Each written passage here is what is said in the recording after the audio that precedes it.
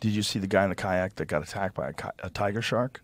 He's in the kayak rowing, and you see this tiger shark just uh, just engulf half the Was he- side of his was he boat. He in this kayak, and all of a sudden, Tiger shark ran me.